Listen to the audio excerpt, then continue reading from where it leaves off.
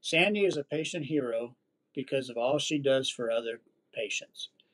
She, her favorite thing is helping people. She spends numerous hours daily monitoring medical websites so she can spread new information and share it with caregivers, medical personnel, and other patients.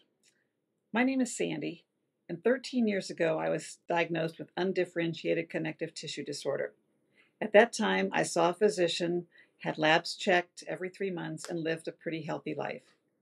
Five years after that, I was diagnosed with vasculitis, specifically vasculitis, and more specifically, microscopic polyangiitis.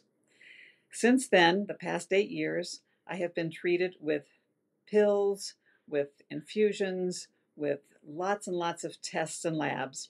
I have one physician here in town, and I have 10 physicians at the Ohio State University Wexner Medical Center.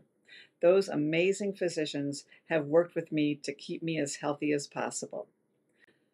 Through the Vasculitis Foundation, I have been able to help others. That's what I always like to do. Uh, my favorite activity is helping others.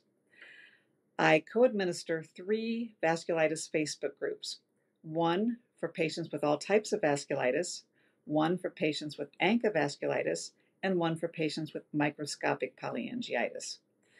For those individuals that do not use Facebook, I spend time with them on email, texts, and sometimes late, late into the night on telephone calls. These are people that live literally around the world.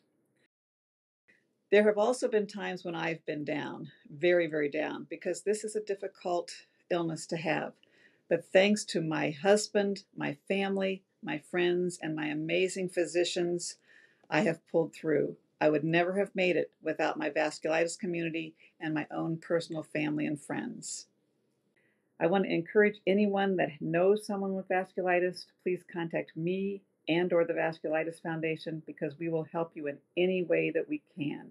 We're not medical professionals, but unfortunately we have a lot of experience ourselves with vasculitis and we want to help you get to the happy place where we are with our lives right now.